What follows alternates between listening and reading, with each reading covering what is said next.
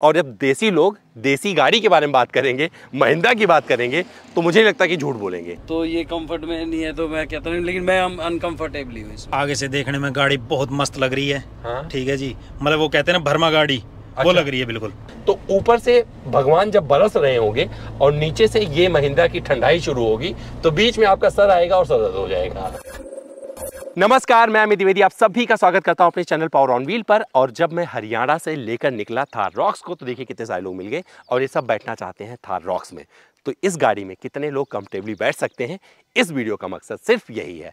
तो मैंने, भैया, हरियाणा के मुझे लगता है सबसे हष्ट पुष्ट लोगों को पकड़ा हुआ है और यहाँ पर बुलंद चेहरे आप देखकर अंदाज़ा लगा सकते हैं कि किसी के घर में कोई तकलीफ़ नहीं है। खाते पीते लोग हैं और देसी लोग हैं। और जब देसी लोग देसी गाड़ी के बारे में बात करेंगे, महिंद्रा की बात करेंगे तो मुझे नहीं लगता कि झूठ बोलेंगे। तो चले भाई रेडी हो? बैठे? आइए देखते कितने लोग बैठ पाएँगे। चलो भाई मैं भी मैं भी मैं भी मैं भी मैं भी मैं भी मैं भी मैं भी भाई मैं भी। अरे भाई साहब ये तो कितने लोग बच गए? और कितने लोग बच गए? मैं यहाँ बैठ जाऊँगा अरे यार।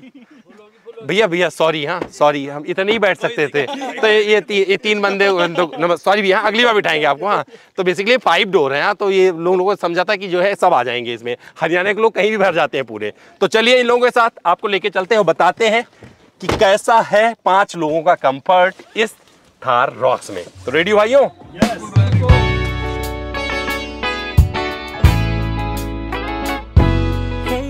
तो भैया हम लोग आ गए हैं अब थार रॉक्स में हरियाणा के खाए पिए लोग बैठे हुए हैं। चार आप देख सकते हैं। गाड़ी का वज़न मुझे नहीं पता है लेकिन अगर इन लोगों का वज़न बताएँगे। तो आप लोग जो है मान लोगे कि जो कंफर्ट टेस्ट किया है इससे बेहतर कंफर्ट टेस्ट नहीं हो सकता है। आपका नाम क्या भाई साहब? मेरा नाम कपिल है। कपिल भैया क्या बोलना चाहोगे इस रॉक्स के बारे में? आप तुम्हारे हरियाणा के लोग चलने नहीं दे रहे हैं रोक ले रहे हैं। अरे भैया कौन रोक देगा इसको? हाथी है ज़बरदस्त जिसको बोलते हैं। अच्छा। ज़बरदस्त बिल्कुल। तो ऐसे मतलब बैठा पसंद करो क्यों? हाँ हाँ क्योंकि बिल्कुल। अच्छा लग रहा है बैठना बहुत अच्छा। एसी उसी आ रही है? बिल्कुल जमा जम एकदम। अच्छा कौन सी गाड़ी चलाते हो भैया? आप? मैं फ़िलहाल एक्सयूवी है स्कॉर्पियो है थार है। थार है? हाँ जी।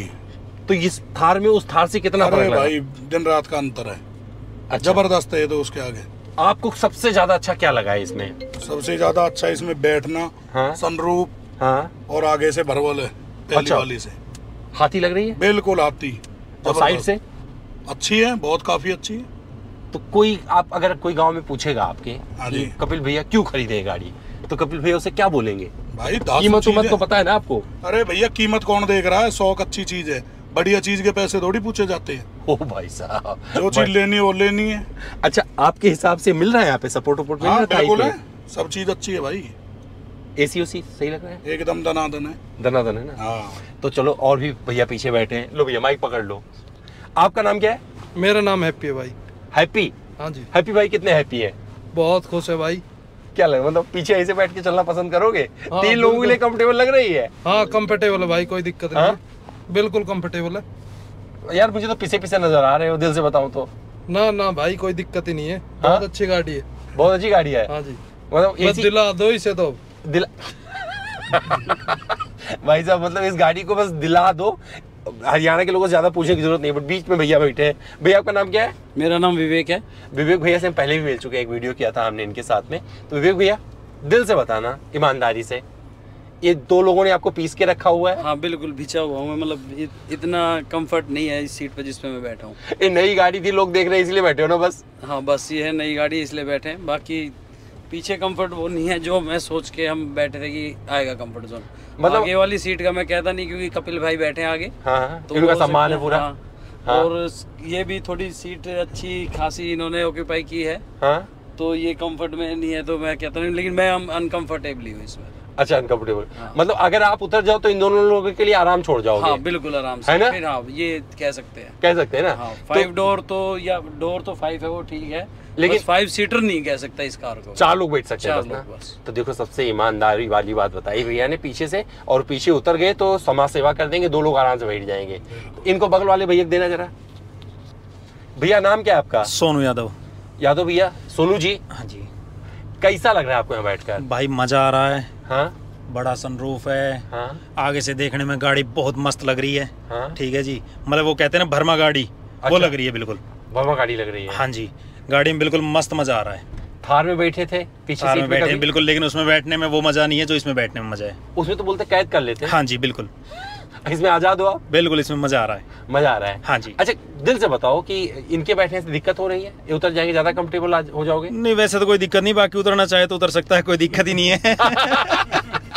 मतलब दोस्ती भाई ज़्यादा चल जाएगा। हाँ बस बस बस अगर आप किसी को नहीं जानते हो साथ बैठा पसंद करोगे? फिर तो नहीं करेंगे ना। कितनी दूर चलोगे? वैसे तो लॉन्ग ड्राइव कितना भी कर सकते हो इसमें कंफर्ट फील है। ऐसा नहीं है कि आप हार रहे हो। हाँ। मज़ा आ रहा है आराम से बैठे हो रिलैक्स हाँ हाँ। ये नहीं कि शरीर थकेगा लंबे रूट में। अच्छा। ये चीज़ है।